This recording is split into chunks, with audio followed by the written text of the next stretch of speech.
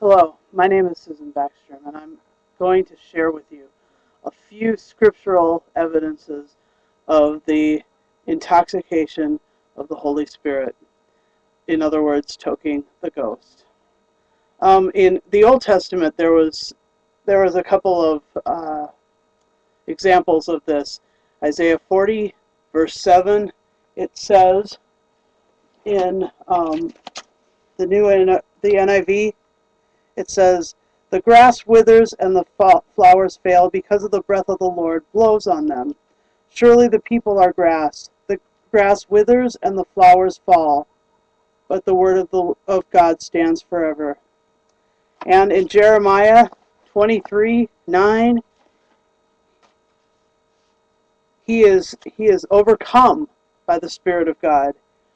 It says, Concerning the prophets, my heart is broken within me, all my bones tremble. I'm like a drunken man, like a man overcome by wine, because of the Lord and his holy words. Because the land is full of adulterers, because of the curse of the land lies parched, and the pastures in the desert are withered, and the prophets follow an evil course. It's the, the evil prophets and he is being overcome by the spirit of the living God. In in so many words, he is he is being delivered into the consuming fire. It it says in Deuteronomy 4:24, "For our God is a consuming fire." And Hebrews 12:29 reiterates this. It, it, it interprets the consuming fire. When you are being consumed by the Lord Most High, it is utterly impossible to, to demand His control be given to you.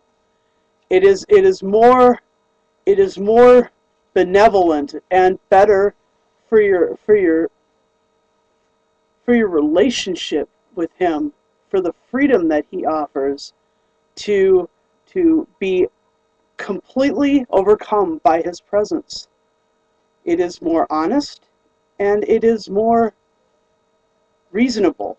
As Romans 12 says, it is it, it's it's our reasonable or spiritual act of worship. It's just reasonable. It, it, it is the most reasonable thing to be completely overcome by 2,000 year old grace. It is, it is legitimate for for humans to be to be conditioned to the spirit of the living God. It's what it's what happened at Pentecost. Acts two, it it says that that they were overcome by the spirit of the living God. They went out and spoke with boldness in in, in foreign languages. Well, it says it's they they spoke in tongues. So, um, those are some of my teachings on the overcoming power of the Holy Spirit. It is it, I have some questions for the for the people. I say, why not prophetic words? Are, are prophetic words deception? Are, are they full of deception? Is, is it possible that the Spirit of God would deceive? And I also have another question. Why only one week? God is really unhurried about these things. He's been dealing with the church for 2,000 years. He's not in a hurry to demand us to come to the come to his aid and come to his to his uh, protection. Anyway, that's my thought.